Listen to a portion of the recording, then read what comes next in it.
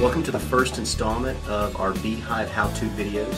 Um, my name is Esteban Garcia and I'll be walking you through today how to resize photos for our photo frame jewelry line.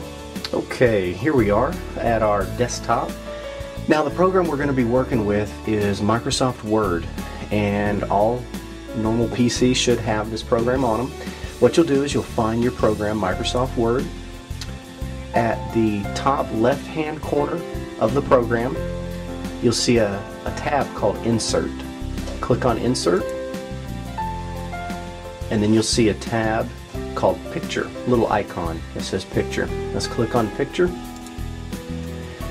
Then what it does is it brings up a pop-up screen to upload your picture from your computer. Uh, my picture just so happens to be on my desktop. So let's see. Here's a picture of this beautiful little baby. Let's see, let's double click on it. And there we go. Now guys, if we have any guys watching this, uh, simple enough for even some of us guys to to do, and it's simple enough for anybody to do. Uh, once we've got this picture up, uh, you've got points on each corner of the picture. Now what those points are used for is that helps you downsize the picture or increase the size of it. But what you want to do is before you touch any of those sides, you want to make sure that you hold the shift key down while you click on the corner that you're wanting to shrink down.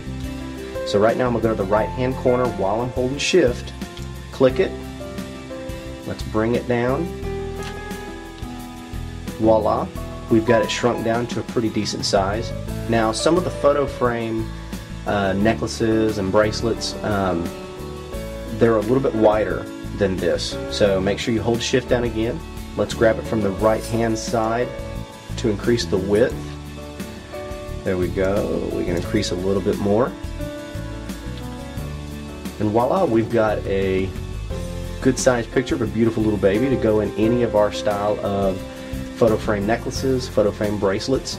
Um, if you do not have Microsoft Word, we do have a an alternate way to resize your pictures.